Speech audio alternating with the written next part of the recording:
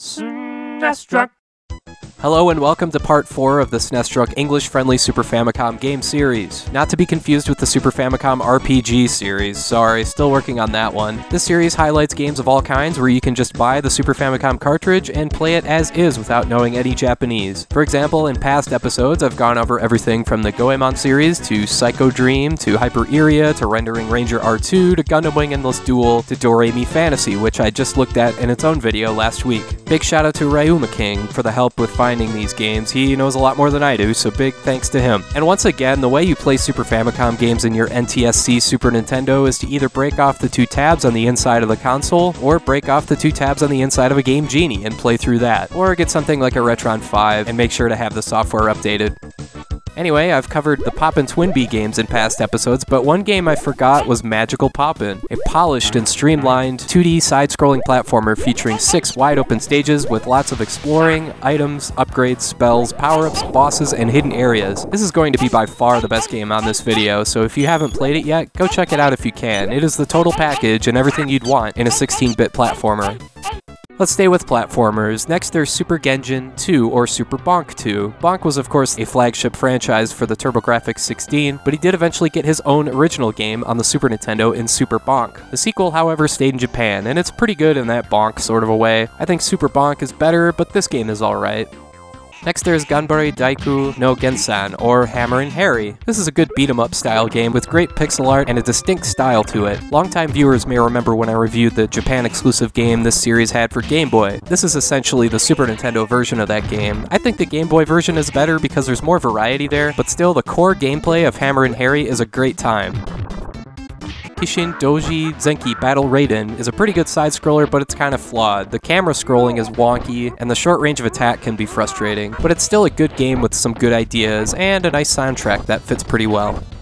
Wagyan Paradise is a ridiculously bright and colorful side-scroller reminiscent of Plok. It's an easier, more straightforward game. I'll say that if you have young kids that you want to get into gaming, this might be a good one for them to try out. The visuals and sound are pretty funny, and the game is simple enough.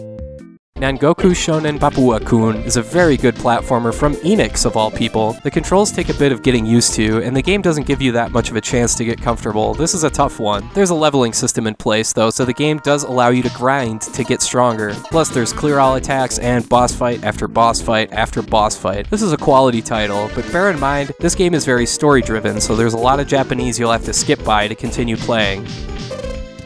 If you're sick of side-scrollers by now, Super Ninja Kun is more of a pure platformer with levels that are more vertically built. There's nothing new or original here, same old stuff with throwing ninja stars, collecting power-ups, that sort of thing, and man, that soundtrack gets annoying quick. But this is still a solid game if you prefer a game of this nature over something like the last few games I just went over. Youkai Buster is one of my favorites on this list. The mechanics here are very Kirby-like. You carry around this gremlin-looking thing that sucks. No, literally, he sucks enemies, but instead of eating them, he spits them out to use as projectiles. He can also suck onto walls and ceilings to climb, and the level design does a nice job complementing these mechanics. If you like the Kirby games, you'll love Youkai Buster. Kaizou Choujin Shubibinman Zero is a game that was a Satellaview exclusive. In other words, there was no cartridge made. The game was actually broadcast via satellite to your Satellaview software in Japan. I won't get into that crazy stuff in this video because I'm not even entirely sure how it worked. But anyway, Kaizou Choujin Shubibinman Zero is like if you mixed together Mega Man's visual style and soundtrack with beat 'em up mechanics and run and gun action. It's a fine piece of work. The only drawback is that you can only get it on a reproduction card or play it on an emulator or a flash card. But seriously, highest recommendation to play it if you can find it. Let's switch to fighting games. I'll go back to the Zenki series. Earlier I talked about Battle Raiden, Kishin Douji Zenki Denei Raibu. This is one of those goofy fighting games that takes kind of a detached perspective and puts the emphasis on visual style. And make no mistake, this game looks freaking great. Yu Yu Hakusho has a similar game like this and it plays kind of the same way. It's all about timing your attacks and blocks, and once you get it down, Dene Raibu is a pretty good fighting game.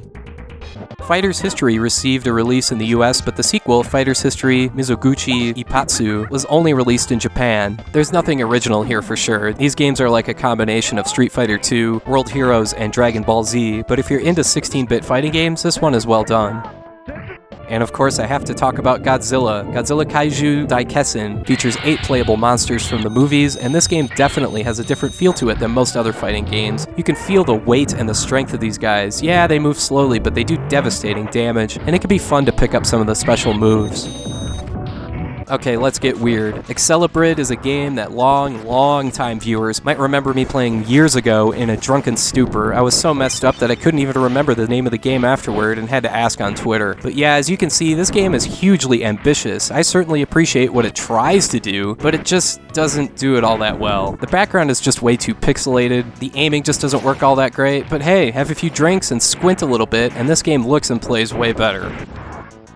Sanrio Smash World Ball is a fun two-player game that's self-explanatory. It's like a handball kind of a thing, with cartoonish characters that I'm sure are from some franchise of some kind. I know Hello Kitty is involved. Still, it's a good multiplayer game with some very satisfying sound design.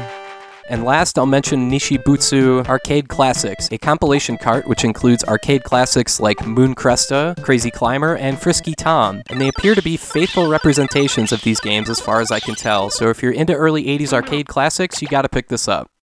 Alright, that's all for now. I hope to do a part 5 with another 15 or 16 games sometime in the future, so I want to thank you for watching, and have a great rest of your day.